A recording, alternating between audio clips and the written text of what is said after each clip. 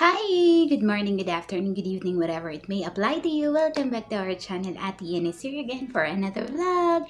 And to this video, ipagpapatuloy lang natin ang ating mga Korean lessons. And itatakol naman natin ngayon ang native Korean numbers. Kasi tapos na natin natakol yung sign ng Korean. So, without further ado, let's dive into the video. But before anything else, huwag niyo munang ipagkait sa akin ang isang malupitang like dyan.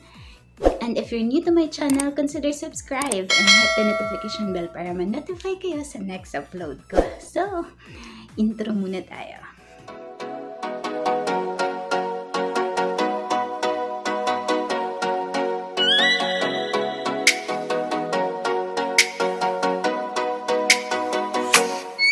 Oh, let me up with a bright smile. Hello!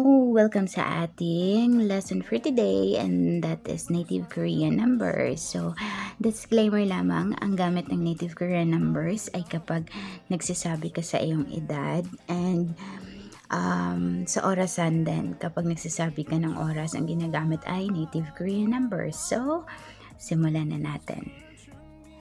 So, simulan na natin and let's begin with number one. Okay, ang number one ay Hana. Hana, and ito yung romanization niya. Pero lagi ko pa rin sinasabi, huwag kayong mag-rely ng romanization kasi hindi talaga siya nakakatulong. So, number two is dual. Dual. Number three is set.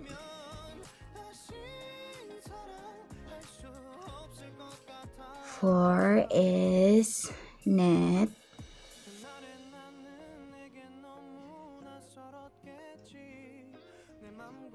Uh, five is dasot.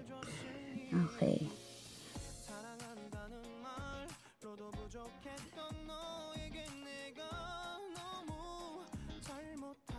Okay, dasot. Okay.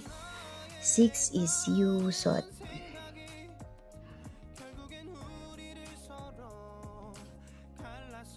Okay. Lo. Sige, liitin na lang natin. You. Sot. Diba?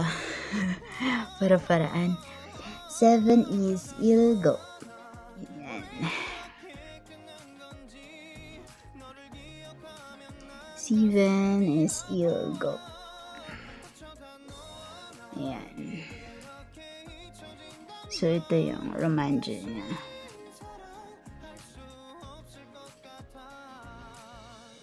Ilgo. Ayan. At 8 naman ay Udol.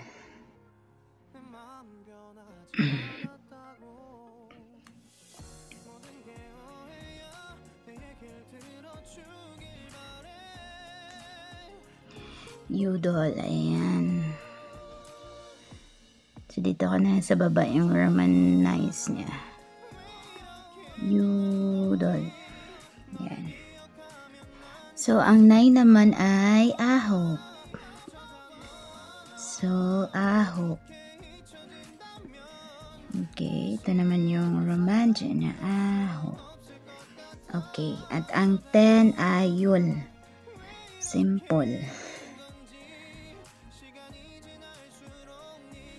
Yul. Okay, so yan ang 1 to 10 ng native Korean number. Hanadul, Setnet, Dasot, Yusot, Ilgop, Yudol, Ahop, Yol.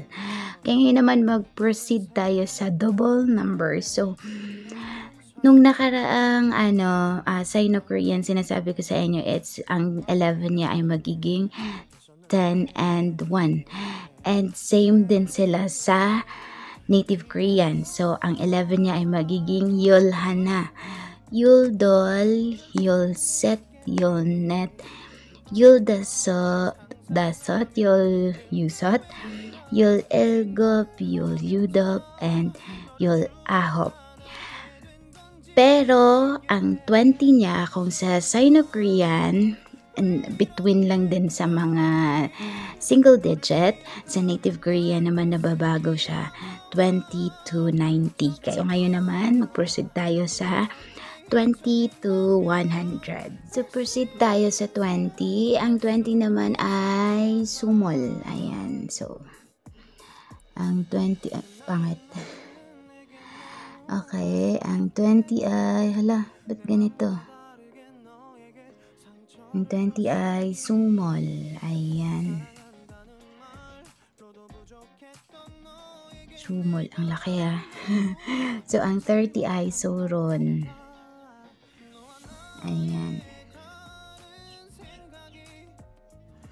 Ang 20 ay suron. Dili su suyuron ha. Suron. Ayan. So, ang 40 naman ay mahon.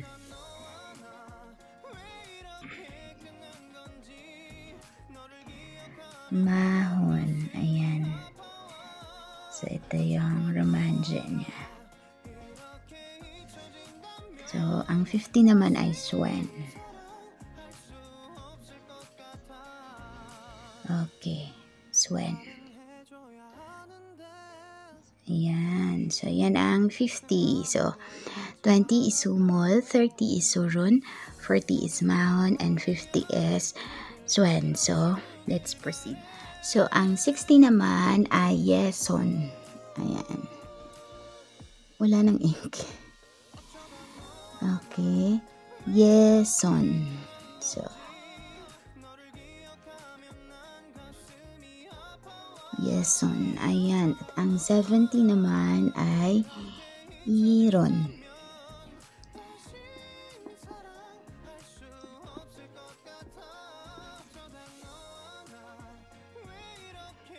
So,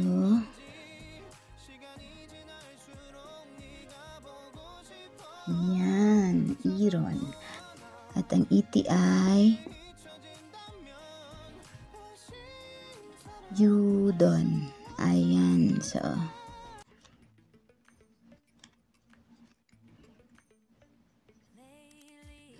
Yudon.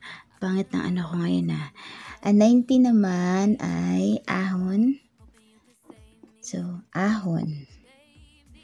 Ahon sa kahirapan. so, ahon. Ayan. At ang 100, pareho lang sila sa Sino-Korean. Bet pa rin. Ay. Okay. Bet. Ayan. So, ayun. Meron ka ng 60 to 100. So, Yison, Iron, Yudon, Ahop, Bet. So, ayan. So, ngayon naman magbibigay ako ng example kung saan usually ginagamit ang native Korean. So, pinaka-basic talaga siyang ginagamit sa pagsasabi ng iyong edad at um, oras. So, magbibigay ako ng example both sa pagsabi ng edad at um, oras.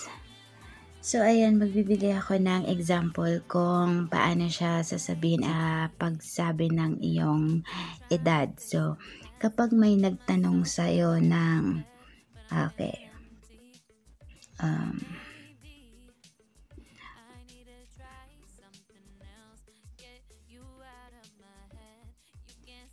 So, pag ganyang tanong, ayan, mute salemne ka, So, mute salemne ka. So, ibig sabihin, tinatanong kanya kung ilang taon ka na. So, kunyari ako ang tinanong, mute salemne ka. So, sasabihin ko yung edad ko. Malalaman nyo tuloy dito yung edad ko ngayon. so, isasagot ko is, okay, tunon. Hulaan nyo. Ilan ang edad ko. So,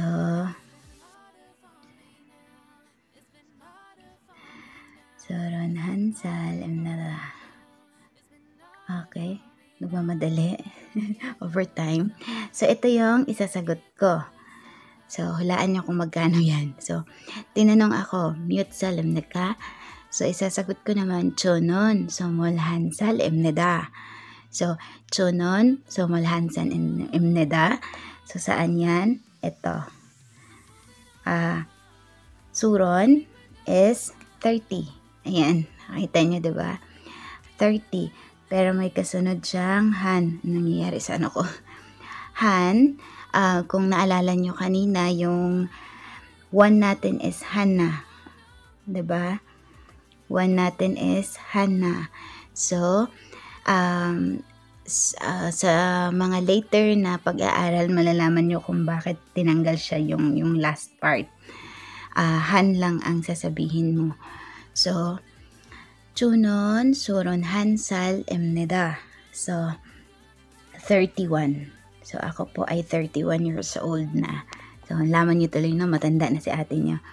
Ayun yung edad ko. So, Sumo, Suron, uh, Chunon, Suron, Hansal, Emneda. So, Emneda is a proper form or an honorific form kapag sumagot ka in Korean. So, ngayon naman, ituturo ko sa inyo ang pagsasabi ng oras using native Korean naman, bibigyan ko ng example sa pagsasabi ng oras kasi ito yung usually na ginagamit ng Korean numbers, native Korean. So, kapag nagsasabi ka ng 1 o'clock in Korean, so, ano ba yan? so, kapag sinasabi mo 1 o'clock, 1 o'clock is Hanshi. Ayan. Hanshi. So, kapag 2 o'clock naman, so sa susunod na lesson natin siguro yung telling time ang susunod na i-lesson ko. So, do she. Do she. So, ayan. Ah, kung mapapansin niyo parang yung 1, Hana, tinanggal lang yung mga ano niya, tinanggal lang yung mga last part ng ano na siya. Yung to din yung doll, dushe, tinanggal lang. So, ganun yung pagkasabi ng oras using native Korean numbers. Kasi sa ano, sa pagsasabi ng oras, yung time niya, yung hour niya is ah, native Korean pero yung minutes niya ay Sino-Korean. So, sa susunod na mga lessons natin, um, tatalakayin din natin yung telling time in Korean. So, I think dito na muna magtatapos yung lesson natin about native Korean. So, salamat sa pagsama and kita-kita tayo sa susunod na lesson. This would be the end for now at magkita-kita tayo sa mga susunod ko pang upload. So this has been Ate Yan saying, forget the past for what it was, accept the present for what it is, anticipate the future for what it can be. Bye! 감사합니다. 사랑해. God bless her, rest assured. When I think out loud, there's always a crowd. Smoking heavy